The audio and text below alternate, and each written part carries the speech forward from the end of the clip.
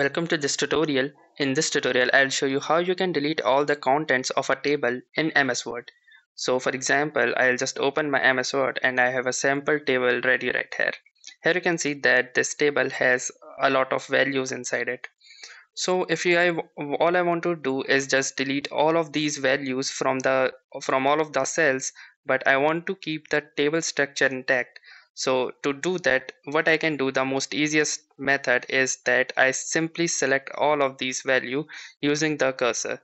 So once I select all of these values and not the table structure, all I need to do is simply click on this on the delete button from my keyboard. So once I press the delete button, here you can see that I have successfully deleted all of the values from the table and now the table is ready to store new values inside it. So I hope this quick tutorial helped you on how to delete all of the values from the respective cells of a table. And you may also choose to delete any particular uh, other uh, values as well. For example if you only want to delete the values of any specified column or any specified row uh, for example you can say like say this uh, column if you want to delete all of the values of this column all you can do is simply select this column only.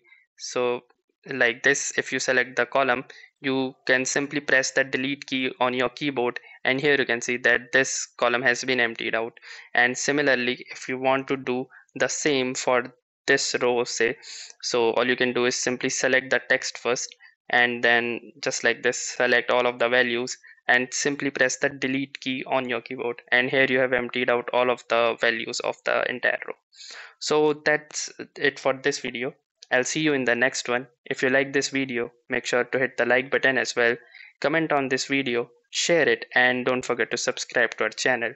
Thank you for watching and have a nice day.